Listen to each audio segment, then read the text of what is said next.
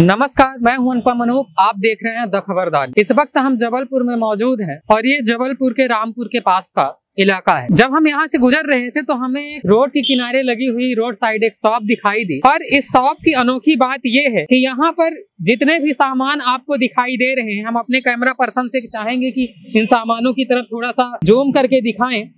कि जो भी सामान यहाँ पर आपको दिखाई दे रहे हैं तो ये सारे के सारे सामान मिट्टी के बने हुए हैं। और जैसा कि जो इनका बॉक्स है तो उसके बॉक्स पे भी लिखा हुआ है, मिट्टी क्ले चपाती बॉक्स मिट्टी क्ले चपाती बॉक्स मिट्टी के बने हुए पूरे के पूरे सामान है, और इन सामानों की विशेषता क्या होती है? और किस तरीके से पर्यावरण के लिए लाभदायक है, स्वास्थ्य के लिए लाभदायक है, इन सारी चीज़ों की चर्चा करने की कोशिश करते हैं। जो शॉपकीपर हैं सबसे पहले तो भैया आप अपना नाम हमको बता दीजिए कि आपका नाम क्या है। मेरा नाम शर्मा बावरिया है। तो कहाँ से हैं आप? जबलपुर के ही हैं। नहीं राजस्थान के हम तो। अच्छा राजस्थान से आप हाँ। राजस्थान से आप? सिर्फ़ ये सामान बेचने के लिए यहाँ पर? ये सामान मिट्टी का सामान इसलिए बेचते हैं इसमें भी शुगर मोटापा कुछ भी नहीं होगा इसमें खाएगा तो आदमी को हेल्थी बना रहेगा। तो बीमारी बीमारी कुछ नहीं होता। इससे खाने में मतलब हेल्थी मतलब ये रहता है। बीमारी से बचाव रहता है। और एक ये हाँ। देखो ये हांडी पास आ जाइए थोड़ा सा। ये हांडी है इसमें सब्ज़ी हाँ। बना सकते हो जो हमारे को पसंद है जोन सा। हाँ। ये गिलास है। ये गिलास है? गिलास है। और ये कप है ये दही हांडी है ये तवा है जिसपे रोटी बनाओ कुछ भी बनाओ ये बोतल है। ये आपका दही हांडी है? हाँ दही? है मतलब। इस पे दही रखते हैं? हाँ दही रखोगे तो और अच्छा ये क्या चीज़ है? वो भी बड़ा मतलब उसी में बड़ा साइज़ का दही अच्छा। पोट है और ये आपका तवा है? हाँ तवा है। है ना? और ये भी गिलास ही है। तो ये वाइन वियर के लिए होता तो वाइन पीने के लिए भी इसका उपयोग कर सकते हैं। कर सकते हो बिल्कुल। और ये चाय का कप है हो हाँ। आपका। और उधर साइड रखे हुए हैं आपके? हाँ उधर बोतल है उधर भी कप भी है उधर हम्म। वही सामान है। तो ये टोटल मिट्टी से बना हुआ है? बिल्कुल या फिर चीनी मिट्टी से बना नहीं हुआ है? पहाड़ी मिट्टी से बना है बिल्कुल। हम्म। तो जो आप जैसे राजस्थान से आए हुए हैं हाँ। तो ये चीज़ जानना चाहेंगे कि ये जो मिट्टी होती है वो राजस्थान में मिलती है या राजस्थान के लोग बाहर से मिट्टी मंगाते हैं और फिर बना करके इसका व्यापार करते हैं। हम ये बोल रहे हैं ये राजस्थान का पहाड़ी होता है जो पहाड़ी इलाका आता है ना उसी का मिट्टी है उसी से बनता है हाथ हाथ द्वारा नहीं बना जाता है मशीन द्वारा बना अच्छा है। मशीन से बनता है? हाँ हाथ से नहीं बना हाँ।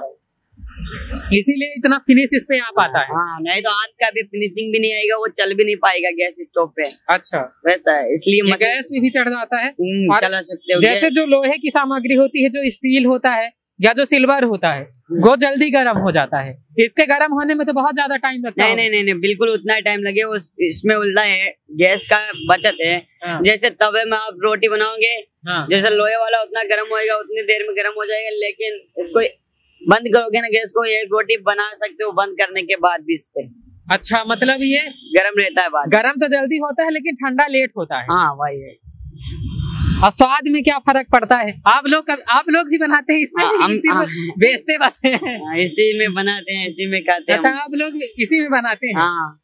स्वास्थ्य में कोई फ़र्क दिखाई देता है? क्योंकि अच्छा लग- प्रदूषण आ जाइए थोड़ा सा इधर आ जाइए। क्योंकि प्रदूषण जो है तो लगातार दिनों दिन बढ़ता चला जा रहा है।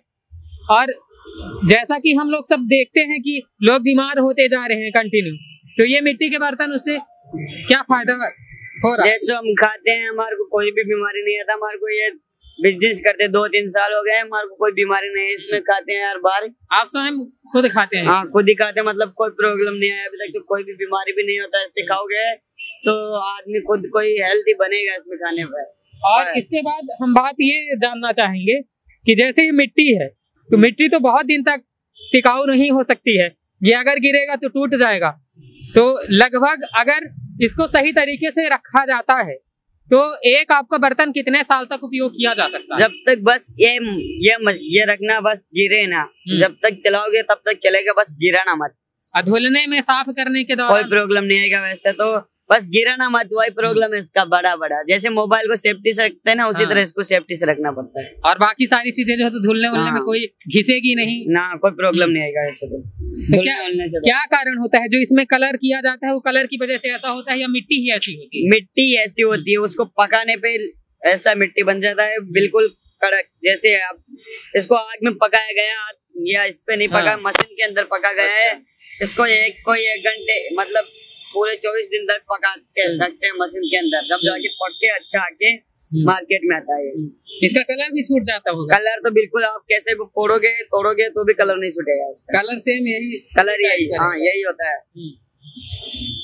और जैसे आपका जो काफ़ी भारी है हाँ वो तो काफ़ी बार तो इसमें मिल्टन वाटर की तरीके से इसका इस्तेमाल कर सकते हैं।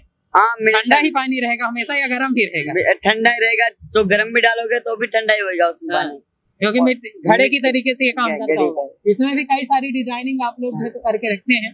अब बहुत सेफ्टी से रखना पड़ता होगा। बस मैं क्या बोल रहा हूँ मोबाइल को रखते हैं उसी तरह रखना पड़ता है इसको। नहीं मैं बेचने की बात कर रहा हूँ कि आपको भी बहुत सेफ्टी बरतनी पड़ती है हमारे को भी तो सेफ्टी रखना पड़ता है तभी बचता है नहीं तो वो लाएँगे ऐसे वैसे रखेंगे तो गिरेगा तो हमारा ही नुकसान होगा ना। तो आप लोग ग्रुप में आते हैं समूह में आते हैं फिर सिंगल सिंगल लोग आते हैं? कितने लोग कितने लोग बेचते हैं? वो हैं तो फैमिली होता है साथ में। हाँ। बस फैमिली जैसे मम्मी पापा भाई बहन इतने ही आते हैं इसमें और जैसे आप यहाँ पर अकेले हैं और लोग आपके परिवार के भी। हाँ मेरा दुकान है भाई छोटे भाई का दुकान वहाँ है पापा मम्मी का दुकान आ गया।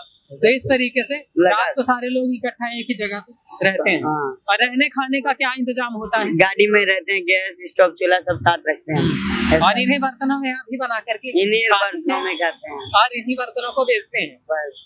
ठीक ठाक आमदनी हो जाती है हाँ। चल जाता है। हाँ वो तो है बस।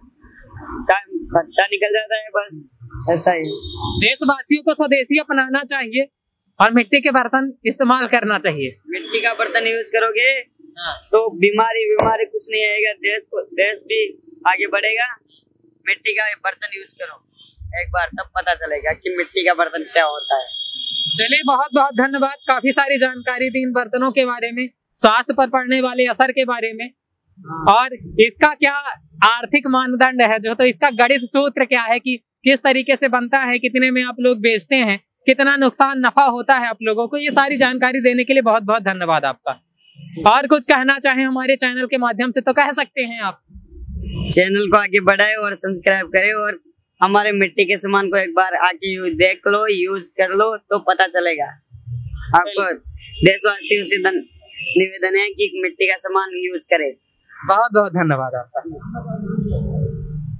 मेरा नाम शर्मा बावरिया है। गाँव राजस्थान है। राजस्थान में कोटा बूंदी गाँव नेणवा है हमारा।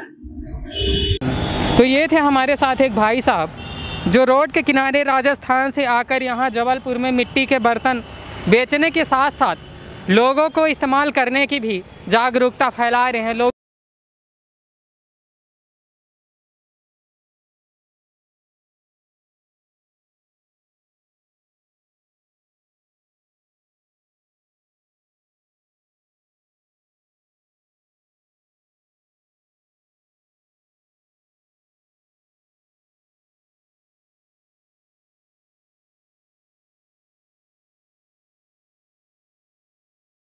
रहिए द खबरदार न्यूज़ के साथ। हम ऐसे ही गरीबों की, हम ऐसे ही लोगों की बात आप तक पहुंचाते रहेंगे। नमस्कार, धन्यवाद।